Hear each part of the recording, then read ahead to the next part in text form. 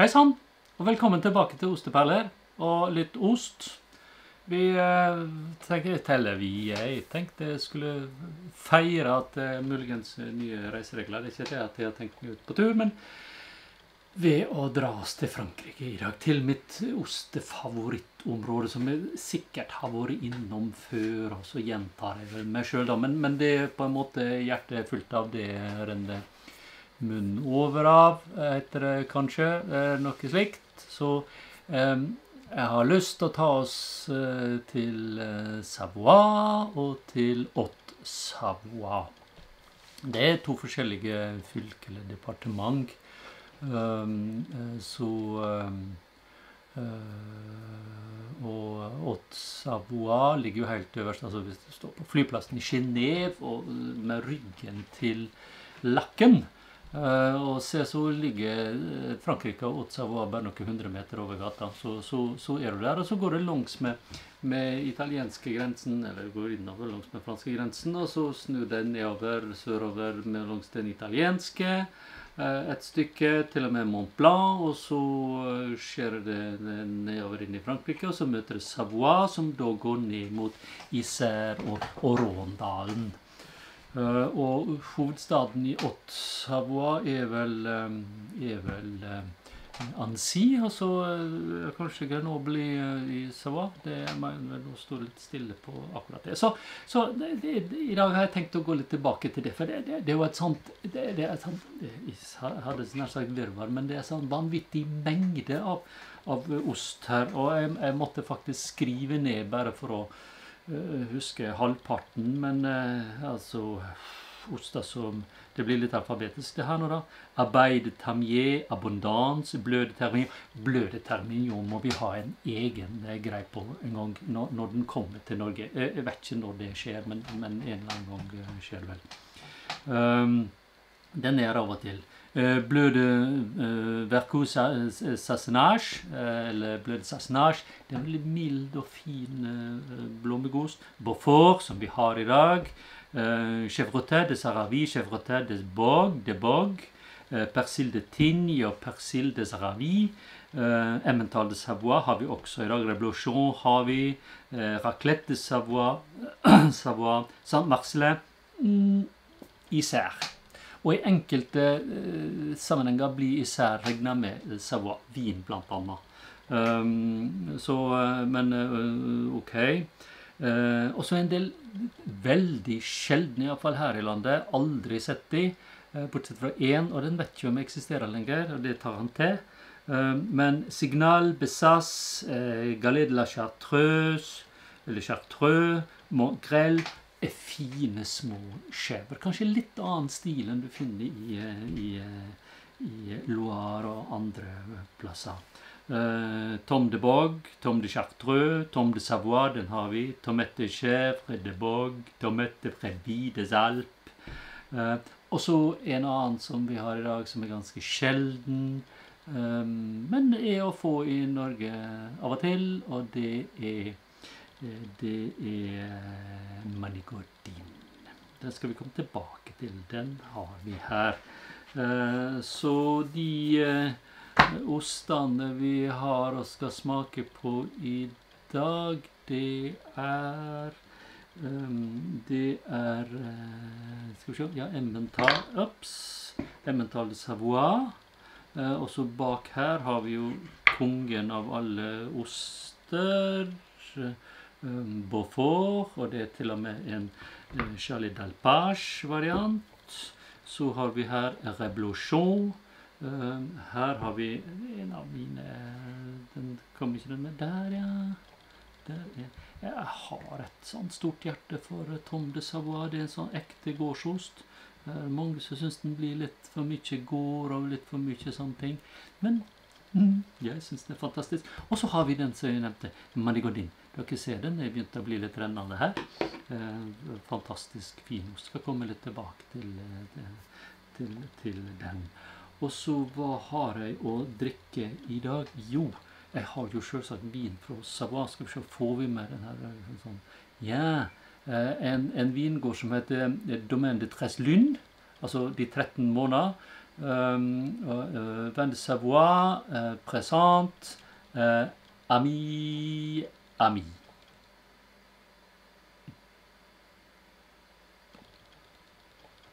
...2018. Ja. 2018 heter det. Um, og det er et ungt par som heter Ann uh, Sylve uh, Holiota. De har jeg møtt. Um, mest henne, må jeg innrømme, fordi at hun snakka engelsk, og det gjorde ikke han. Så da var det hun som sto for pratinga. Så um, veldig, uh, veldig eh, flinke, veldig hyggelige. eh, og lager god vin. den må nok bestille. Jeg fant den på et pol i Oslo. De hadde, det var ett pol i Oslo som hadde den inne. og Ei flaske de hadde, og den, den står her. Så det men går an å bestille. Flott vin. Savoie har mye god vin. altså. Så har de litt sånn stedegne, gamle druer. Og den der er laga på Ja, hva er den laga av? Det burde jo vite. Eh, Jacquer og, og Grüne Weltline. Det er østerriksk, tror jeg. Men der er en link der fra veldig gammelt av, og da er vi tilbake i romertida og alle mulige sånne ting. Så, så det, det, det det var en sammenheng mellom Savoie og Østerrike i, i, i den forstand. Og så er det en tredjedel Altes, som også er Savoie-due. Så uh, veldig fin miks. Liksom sånn. Prøv det. Prøv. Vær litt sånn Villa gå vågal, og ikke gå bare liksom sånn disse breie avenyene av de kjente vinene. Mm, prøv noe nytt. Få mange flotte eh, opplevelser på det. Så uh, Sånn, sann ære. Så hvor skal vi begynne? da? Skal vi, eh, kanskje vi skal begynne på emmentaler? Altså, det er jo i utgangspunktet en sveitsisk ost. Emmentaler. eh, med huller som, eh, og, og, som da er blitt benevnt som sveitserost. Det forstår, forstår sveitserne fryktelig lite av. Um, fordi at det, det er bare emmentaler som har uh, hull i seg på, på, den måten, og de er jo vesentlig mer kjent for f.eks. gruyère. Har jo ikke hull i det hele tatt. skal ikke ha det, da er det en peil. og Etiva har ikke hull, Appenceller har ikke hull. Ja, mange andre som Altså ingen av raclette-ostene har hull, og, og, og, så videre. Så, så det, det, er jo litt sånn sært. Og, og sveitserne syns det er usigelig sært av resten av verden å, på en måte ta så feil. Så, men men Savoie har også sin emmentaler. Og det er jo fra gammelt av, for dette, det her var jo et område, og det var ikke så mye grenser. Det var sikkert grenser, men de var ikke så opptatt av de. Og, og dermed så lagde de jo ost. Og du har jo samme problemstillinga med gruyère og comté, som på sett og vis var samme osten, bare fra litt forskjellige områder og hette tilnærma det samme. Men så kom politikerne og måtte begynne å sette grenser, måtte ha orden og og sånn, og dermed så er det blitt gruyère på, på, på sveitsisk side og Conté på, på fransk side, f.eks. Og du har det litt det, det, samme her. altså Da er det Emmentaler de Savoie, du har en raclette de Savoie, og så, videre. Så lar vi smake den her. Store hull. Litt sånn fransk, selvsagt, at det er sånn megahull. Sånn, litt uryddig, for å si det sånn det. var ikke så gærent. Jeg har hatt en, en, en Emmental de Savoie som, som, var nesten innhull. Eller det var på sett og vis nesten et stort hull. Hm. Jeg syns nesten den her er bedre enn en originalen, som kan være litt metallisk i smaken. synes jeg. Mm. Mm. Og veldig fin og rund. Og smakte fantastisk. Lenge siden jeg har smakt den. Skorpa er ikke noe å spise. Jeg har til og med litt sånn eh, papirbelegg.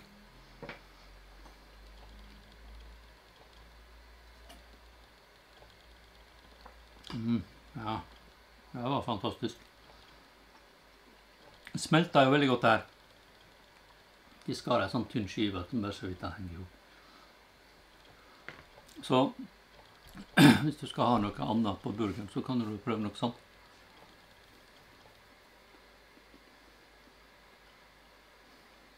Mm, mm, Den finner litt sånn elastisk, gummiaktig. Fin sødme. Ikke noe sånn utprega, men den er der. Veldig mm, på en måte redusert eh, i saltet. Sånn, sliter han litt med å fokusere her. Må sitte i ro. Så ja, det er godt. Og det her kan du ha på brødskiva. Mm, som et alternativ til på en måte vår standardost på, på brødskiva, som også har hull. Og er laga i Norge. Iallfall enn så lenge. Så ja, Emmental Savoie, mm, prøv den. Kommer nok i et sånn gedigent hjul, tenker jeg. Emmental i Sveits er jo verdens største ost. Jeg lurer på om jula er veier 120-140 kilo. Det, er ganske Det er ganske mye, det.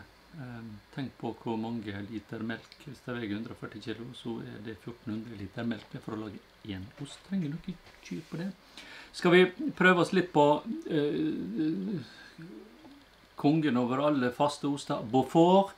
Beaufort er jo um, en, en, en vindskala. Det er jo det jeg kjenner. Det var det første jeg lærte om Beaufort. Beaufort-skala. Jeg er jo vestlending, så jeg er vant med å høre værmeldinger.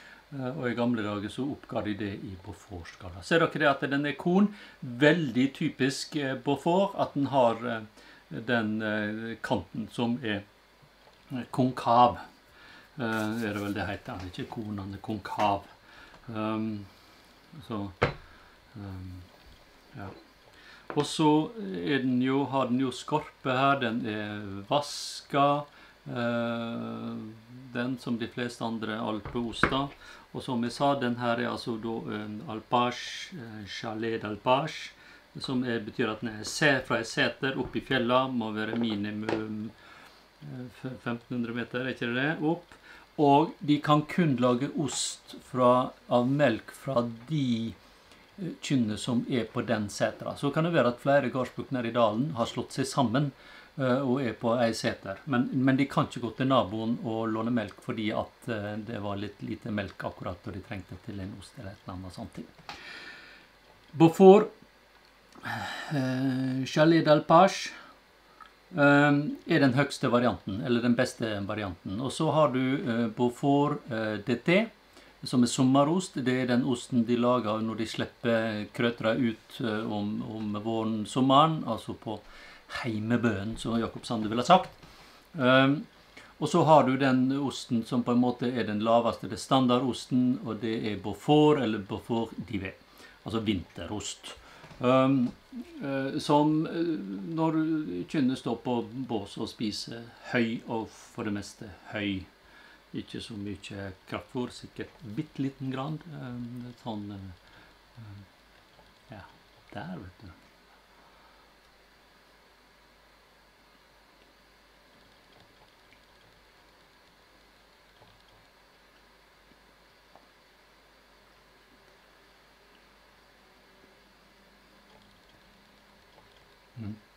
litt tørr. Det er ikke noe galt i det. Så kommer det litt sånn veldig nedtona. Det er jo det som er det fine med disse alpeostene. At sødmen er så nedtona. Det er ikke noe karamell. Det, det bare er der. Og så det blanda med litt sånn umami og litt sånn eh, salt, så gjør det sånn fin balanse. Bare rundt, og det er godt. Og så er det muligens litt sånn nøttesmak skal være, Jeg kjenner ikke helt, men det skal være her, for å si det sånn. Av og til i disse ostene kan du få litt ananastoner. Det er ikke det i den her. Men, å, men, det, men det, er så godt. Liksom, litt vin, litt brød, kanskje litt salami. Altså, og da tenker jeg på sånn ordentlig salami, italiensk salami eller fra Ask. Alt et som. Eh, men litt sånn ordentlig salami. du trenger ikke noe mer. Det, det, det er så nydelig godt. Å? Ja. Mm. Mm. Mm. Nå tok jeg en bit helt uten med skorpa, og den endra karakter.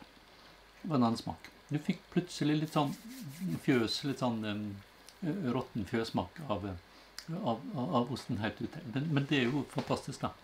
Det er godt. Mhm. Ja, skal vi se. Da prøver vi oss på eh, Tom. Tom Tom de Savoie er jo en gårdsost. Og litt som i Norge, så er den et resultat altså På en måte som eh, pultosten i Norge er et resultat av at man først lager smør. Eh, fordi at, Eller først så, så, så separerte man melka, så lagde man smør. Eh, og så eh, av den skummamelka som var igjen, så lagde man ost. Og av den myse som var igjen, så kokte man brunost. Eller surost, som det heter da. Og det samme er det med eh, Tom de Savoie, fordi at eh, smøret hadde mye større verdi for gårdbrukerne oppe i, fjellene. i fjella. Og, og osten var bare til eget bruk. og så delte man kanskje med litt med familie hvis de ikke var gårdbrukere. Og så etter hvert så solgte man det litt på lokale marked, og så har det utvida seg. Så det her er den dag i dag en ekte gardsost. Um, og det, det som er spesielt med at det, i, dag, nå har jo verden gått videre, og man trenger ikke å lagre denne skummamelk. Det eneste osten som da har beskyttelse, den har, eh, den har geografisk eh, opprinnelsesbeskyttelse, altså eh, IGP, som det heter. Um, eh, og den kan lages av skummelk, den kan lages av delvis skummelk, og den kan lages av H-melk, for å si det sånn sånn fullfettmelk, da. Helfeitmelk. Um, så um, Og den her tror jeg er laga kan virke sånn på konsistensen av noe midt imellom. Ja. Jeg syns den er så. Jeg tar den med på alle kursene, og jeg får faktisk av og til litt motstand. Unntatt det siste jeg hadde nå rett før, rett før sommer, altså nå i juni. De var enige med meg og syntes det var en fantastisk fin ost, og det er det. Og jeg vet ikke om det er fordi at den, den kan jo ha litt sånn fjøstoner, litt sånn animalske toner. eh, At det er det som gjør at folk har litt motstand. Nydelig osteduft og liksom sånn. Så Tom de Savoie. Billigheten også. Ja. Smak den. Løp av gårde. Kjøp. Alminnelig tilgjengelig i Norge.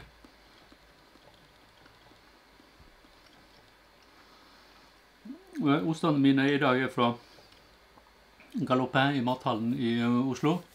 Eh, unntatt eh, Emmentaler de Savoie. Den er fra fromagerie. Så sånn er det. Og så eh, skal jeg gå på de to siste her nå. Og Vi må begynne med den eh, rennende her før den forsvinner helt for oss. Går ut døra. eh, Som er Manigodin. Um, Se det her. Manigodin den kommer fra Manigo. Manigo er en by ikke så langt, En halvtimes kjøretur fra, fra Annecy.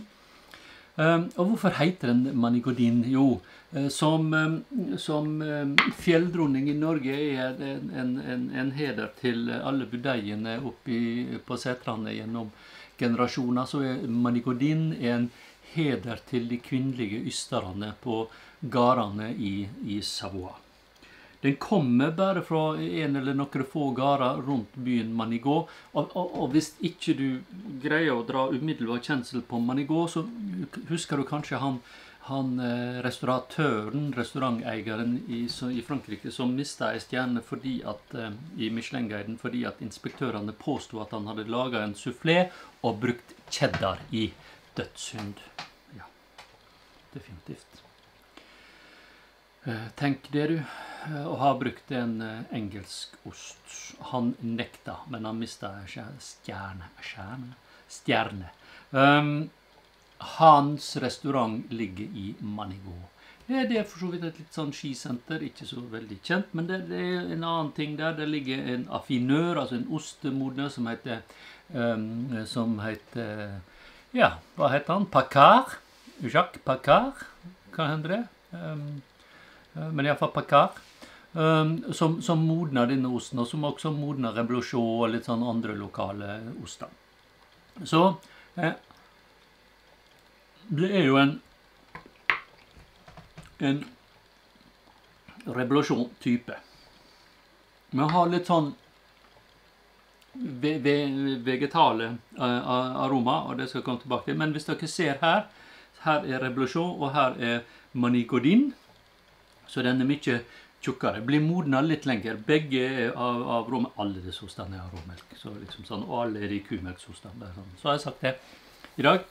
Um, og, så, og så har den et Se her. Et bånd, et granbånd rundt seg, sånn, for å holde den på plass. Og det, det, gir nok den litt sånn vegetale smaken i, i, i osten. Og det, de som, um, det her er en sanglier, eller sangle heter det kanskje. Og de som lager det, det er jo et eget yrke i Frankrike å lage sånne gransponbånd til ost, og de heter sanglier. Uh, og nå da forekommer meg at jeg har prata om det her tidligere, så det skal jeg bare droppe. Så, så, så, det er det. Men en fantastisk flott ost.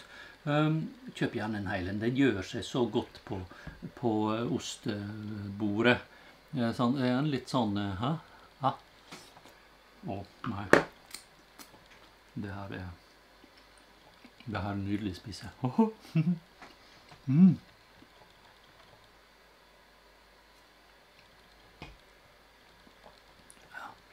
Så når dere ser at den er litt sånn her, Denne er jo en vaska ost.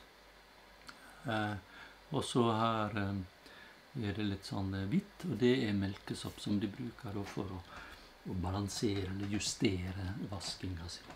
Eller da kitten som vokser fram pga. vasking. Så eh, kommer av verbet reblocher på fransk, eller savoir, som betyr ettermelke, eller å um, dra i juret en gang til. Det høres veldig sånn uh, komplisert ut, så et bedre norsk ord er å ettermelke.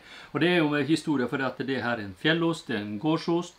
Uh, og i gamle dager så legde de jord av, av landeierne, og de fikk betalt i forhold til hvor mye melka kynnereira, hvor mye melk kynnereira ysta. Og da lagde de jo Beaufort og muligens Conté også, vet ikke, men altså den type oster. Um, selv om Conté kommer fra, fra, Jura, så den er ikke fra Savoie. Men, men jeg kunne være abonnance og litt sånn forskjellige fastoster oppi fjellet der. Og så når disse her oppkreverne kom, så visste jo de det lenge før.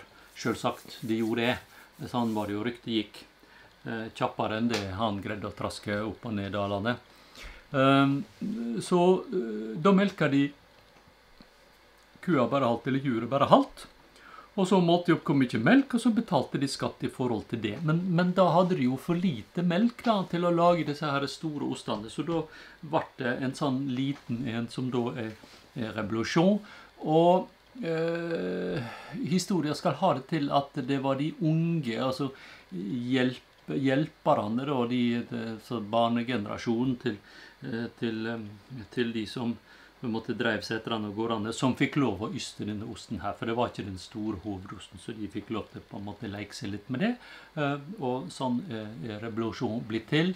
Og revolusjon er en fantastisk ost. Hvis du er litt, har litt motstand mot, mot eh, kittmodne oster, så er revolusjon en vanvittig flott plass å starte. Ikke er den illeluktende, den er god, og den er rund.